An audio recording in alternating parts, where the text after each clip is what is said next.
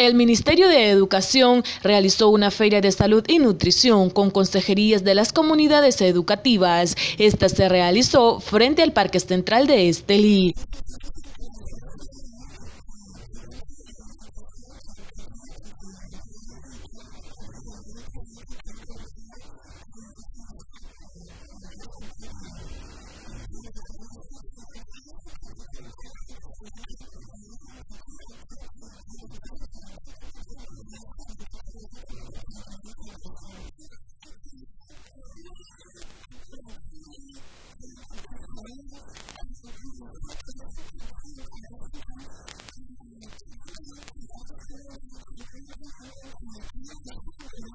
I'm going to go to the next one.